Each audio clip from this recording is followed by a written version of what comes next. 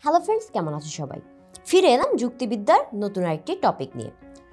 আমরা গত তিনটি ক্লাসে বৈধ প্রকল্পের শর্তগুলো শিখেছি। আজকে আমরা এর সর্বশেষ পর্বে রয়েছি। আজকে আমরা শুধুমাত্র আর একটি শর্ত শিখব, কিন্তু এই শর্তটি খুবই গুরুত্বপূর্ণ। আমরা প্রকল্প যখন তৈরি করি, সেই প্রকল্প প্রকল্পটি পরীক্ষাত্মকভাবে সমর্থনযোগ্য হতে হবে।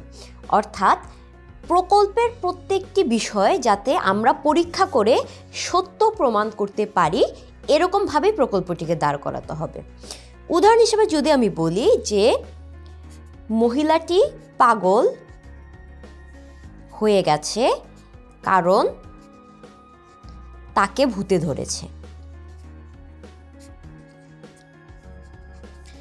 এটা কোনো বৈধ প্রকল্প হবে না, তার কারণ এখানে ভূতের অস্তিত্ব প্রথমত আমরা প্রমাণ করতে পারব না।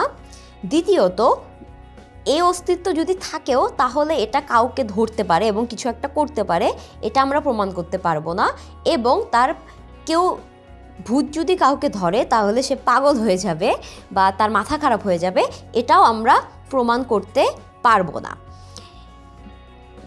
যখন আমাদের মেডিকেল সায়েন্স এত উন্নত হয়ে গেছে তখন যদি আমরা এরকম একটি প্রকল্প তৈরি করি এবং বলি যে প্রমাণ করা যাচ্ছে না বলেই এটা আসলে প্রকল্পটা হিসাবে ভালো না না হলে যদি প্রমাণ করা যেত, তার মানে সবগুলোই প্রমাণিত হতো, তখন কিন্তু এই কথাটা খাটে না। যদি এটা প্রমাণ করার মতো কিছু হতো, তাহলে বিজ্ঞান এত দূর আসার আগে এটা প্রমাণিত হয়ে যেত। যেহেতু এটা কোনোভাবে আমরা প্রমাণ করতে পারছি না, তার মানে এটার অস্তিত্ব নেই। আর যদি অস্তিত্ব থাকেও, তবুও যেহেতু আমরা এটা কোনোভাবেই প্রমাণ করতে পারছি না, এটা আমাদের প্রকল্পে ব্যবহার করা মানে আমাদের প্রকল্পের বৈধতা হারিয়ে যাওয়া। অর্থাৎ প্রকল্পটা আর ভ্যালিড থাকবে না। অর্থাৎ আমরা প্রকল্পতে এমন ঘটনা বা এমন তথ্যই ব্যবহার করব, যেটা আমরা পরীক্ষা নিরীক্ষা করে সত্য প্রমাণ করতে পারি। বা পরীক্ষার অন্তত যাতে যোগ্য হয়ে ওঠে। পরবর্তীতে মিথ্যা প্রমাণিত হলেও কিন্তু সম্ভব নেই, কারণ মানে সমস্যা নেই।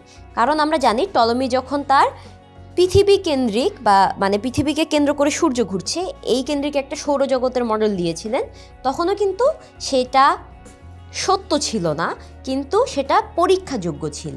এবং পরীক্ষাযোগ্য হওয়ার পর, পরীক্ষা করার পর যখন সেটাকে ভুল প্রমাণিত হয়ে গেল, তখন আমরা সেটাকে বাতিল ঘোষণা করলাম। অর্থাৎ সত্য হোক বা মিথ্যা হোক, ভুল হোক বা সঠিক হোক, আমাদের প্রকল্পে থাকা তথ্যগুলোকে পরীক্ষাত্মকভাবে সমর্থনযোগ্য হতে হবে, অর্থাৎ পরীক্ষার যোগ্য হতে হবে।